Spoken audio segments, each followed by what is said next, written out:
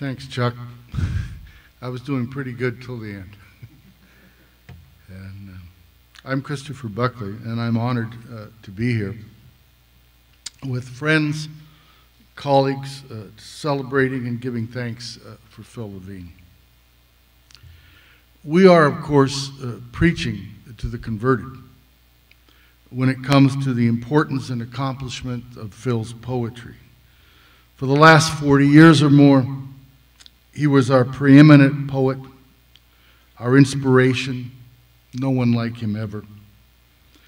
Phil's poetry of work emphasized in blazing detail the dignity of the worker, the individual, and was singular in American letters. But it was maybe half of his accomplishment. The media articles for his appointment as poet laureate, the obituaries pointed only to this. But it is important to remember the poems of the Spanish Civil War, the lyric narratives cherishing family, the translations from the Spanish, the incredible long poems throughout his career. No one, I mean absolutely no one, wrote as many inventive and brilliant long poems over 50 years. And finally, often overlooked are Phil's metaphysical poems. Those unique poems in which he forged a secular vision of hope for our spirits and our lives, which praised our collective being.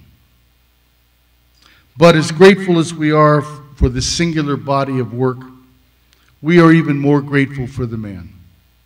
Our friend, comrade, father, husband, and mentor. There was no one more generous with his time, gifts, insight, experience, I was 28 when I came to teach at Fresno State. Friends had already won book awards, money prizes, and published in better journals. I was feeling a bit left behind in the dust with three early morning classes of composition.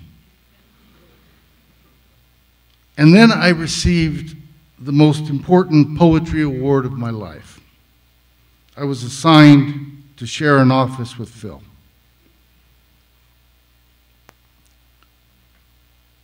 For a couple years, I sat at my desk correcting piles of papers, waiting for Phil to come in in the afternoons, at which time I'd throw up a question about a current poem or a poet or a journal, and my tutorials in poetry and life began.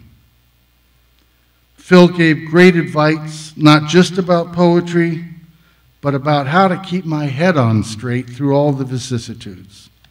His advice and care were essential in getting me through those early years. He emphasized the value of work for its own worth, patience, fortitude, modesty, dedication, and honesty. Phil wrote hundreds of letters by hand to me and many others. He wrote letters for me to the Guggenheim for over 20 years. And when I finally received the fellowship, I called Phil immediately to say I had good news for us both. I would not be asking for more letters.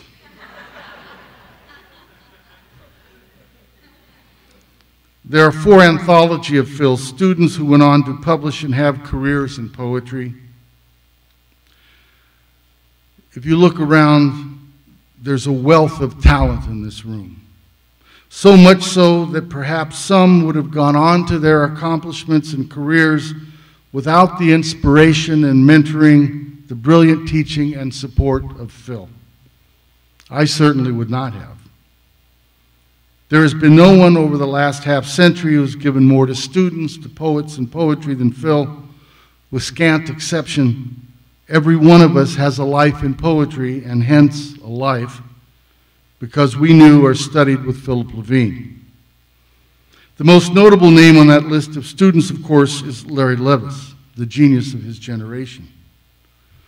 When I was editing the University of Michigan Press book on the poetry of Philip Levine, Stranger to Nothing, I asked Larry to write an original essay for the collection. The result was Philip Levine, an essay which is the hallmark of the book, a remembrance at once hilarious in recalling Phil in the classroom in the 60s and poignant in its tribute and testament to the value of great teachers. Speaking to Phil's generosity, how essential he was to all of our lives, Larry says it better than I ever can. To attempt to be at all objective about my friend and first teacher, Philip Levine, is impossible for me. For to have been a student in Levine's classes from the mid to late 1960s was to have a life, or what has turned out to be my life, given to me by another. It isn't enough to say that Levine was a brilliant young poet and teacher. Levine was amazing. His classes during those four years at Fresno State College were wonders, and they still suggest how much good someone might do in the world. For in any of those 50 minute periods, there was more passion, sense, hilarity, and feeling filling that classroom than anyone could have found anywhere in 1964. Whenever I try to imagine the life I might have had had I not met Levine, if he had never been my teacher, if we had not become friends and exchanged poems and hundreds of letters over the past 25 years, I can't imagine it. I cannot see myself walking down one of those streets as a lawyer or the boss of a packing shed, or even as the farmer my father wished I would become. And when I try to do this, no one's there. It seemed instead that I simply had never been at all. All there is on that street, the leaves on the shade trees that line it, curled and black and closeted against noon heat, is a space where I am not. I'm going to uh, conclude uh, reading Phil's poem, Ascension. Uh, this is uh, a broadside keepsake that will be passed out uh, after the event today to all of you. Um, we want to thank uh, Tim Geiger at the Aureole Press for producing this for this event. Ascension. Now I see the stars are ready for me, and the light falls upon my shoulders evenly, so little light that even the night birds can't see me robed in black flame. I am alone, rising through clouds and the lights of distant cities until the earth turns its darker side away. And I am ready to meet my guardians or speak again the first words born in time. Instead, it is like that dream in which a friend leaves and you wait, parked by the side of the road that leads home, until you can feel your skin wrinkling and your hair grown long and tangling in the winds.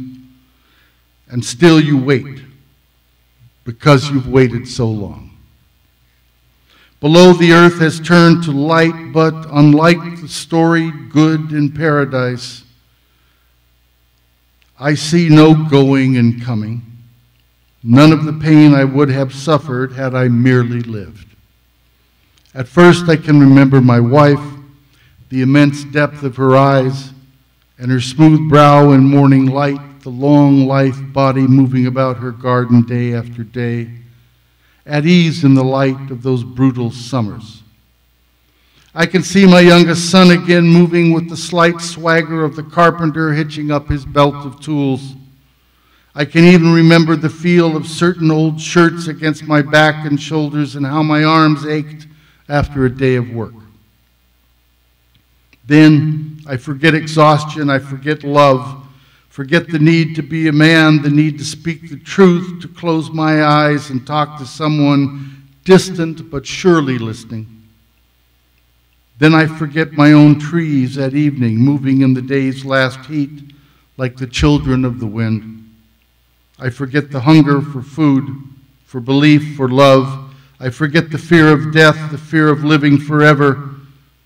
I forget my brother, my name, my own life. I have risen. Somewhere I am a God. Somewhere I am holy. I am a holy object. somewhere I am.